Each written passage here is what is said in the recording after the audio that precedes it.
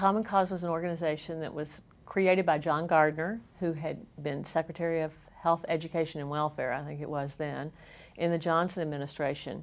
And he always said that one of the things that he saw as, as a, you know, in this powerful position was that everyone was organized but the people.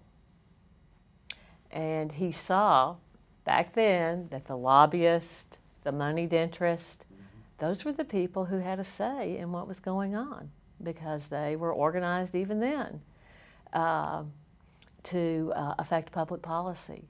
And so he decided he wanted to start an organization that would represent the people so that the people would have a voice, or at least a small voice, in some of the public policy. So it was a membership organization.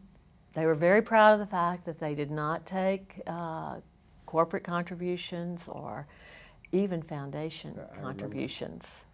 So they decide, I presume, I don't mean to presume anything. What are you hired to do at, at, uh, at Common Cause? Uh? Uh, they were actually looking for someone to create an organizational magazine. And I said to them, I would be interested in starting, a, you know, an issues magazine for you, a, a magazine that did investigative reporting on the issues that you're concerned about, because I could see all sorts of stories. You know, my mind was just, uh, it was thrilling to think about all the kinds of stories that could be done that weren't being done on campaign finance. I mean, that was not a big issue at the time in the early 80s. Uh, there were just all kinds of stories that I could see that could be done and that would, that could be done in a journalistic way and published in a magazine and uh, advance certainly the agenda of Common Cause because they would be, sure, but not be partisan or uh, one-sided articles. David Cohen was the president David, at the time. Oh, okay, sure. and Fred was the senior vice president, but uh, they didn't believe me. I mean, really?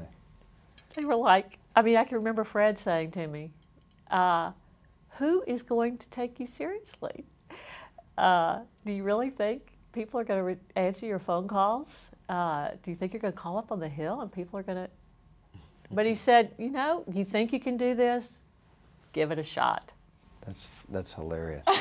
and did they have a little money, obviously, to do this? I mean, did, did you have a staff? How, how did you? Very small uh, staff. Use of freelancers? Uh, no, we almost all of it was staff done. Oh, really? Jacqueline Sharkey was the only freelancer we used that I can recall. Maybe one or two others, but uh, I knew what was most, what was most, one of the most important things to me was to do important stories. But even more important was that whatever we did was correct, was sure. right, was accurate, because we couldn't afford, I mean, I understood that anything we published would reflect eventually on the organization.